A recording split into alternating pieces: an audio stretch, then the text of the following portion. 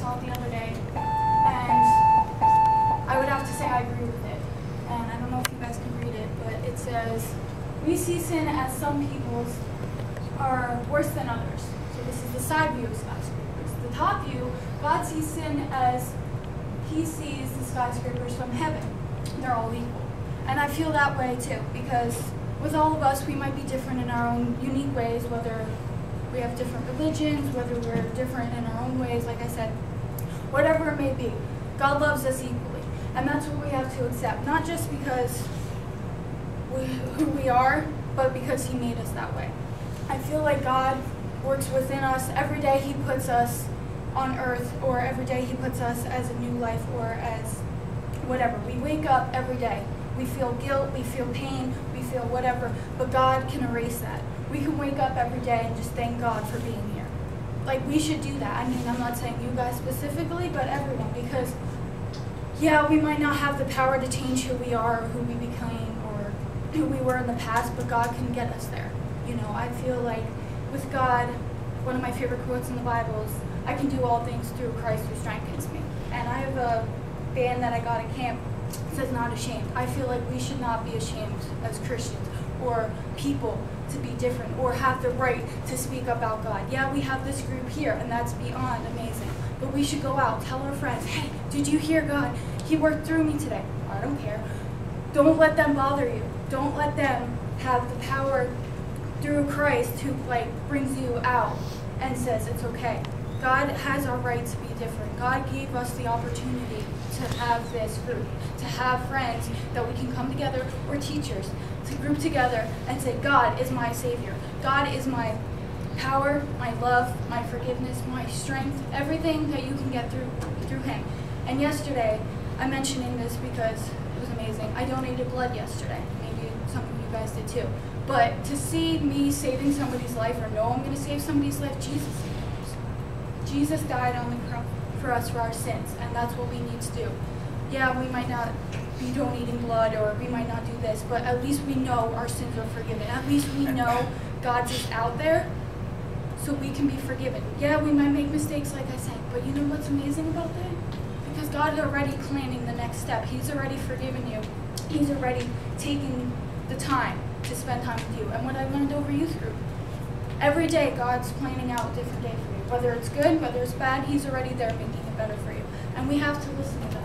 Yeah, we might judge others. We might feel the need to be having pain, having left upset. Whatever the case is, God's already there. God's already making us feel the great we are, the great we are. We got to keep remembering that. We can't keep remembering the things that carry on our hearts when He's already undead. He's already in heaven. He's already living for us each and every day so we can share his word with others. Not just here, but in our community. We want to go out each and every day, whether we leave here, whether we leave our homes, whether we leave our churches on Sundays or youth groups. We have to go out each and every day to share his word because that's what he did with us. He rose again. He died on the cross for us so we can live for him. And his son. Our, his son is here with us every day, whether we know it or not. He's with us. He gave us the gift of life. He gave us the gift of being strengthened. Whatever it may be, God is with us always. And we can't just share it, oh, once a week, once a month, whatever.